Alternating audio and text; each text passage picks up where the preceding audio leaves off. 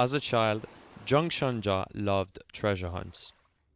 After arriving in the UK two years ago, the art student from Shenzhen in China took up mudlarking, scouring the exposed banks of the River Thames. You could find the Asian artifact from the people who live in the past. It's a magical connection. Also, as an artist, I think the mudlarking findings could be some very interesting materials for your research and the creation. Amid clay pipes and glass bottles, it was a handful of pottery shards that caught his eye.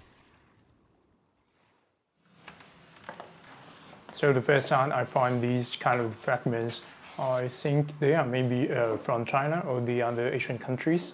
But after I did the research, I find it's actually not. It's produced in England. We don't have this kind of things in China. The distinctive tableware he found is known as Blue Willow.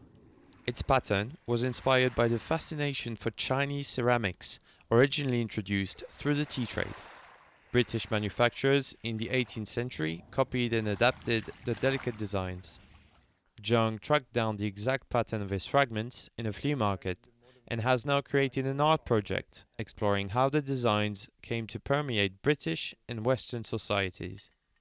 I think the blue willow for me is like a specific item and it let me know more about how these two countries, UK and China, how they communicate and influenced by each other in the past. His work shows how ingrained the design is in Western popular culture.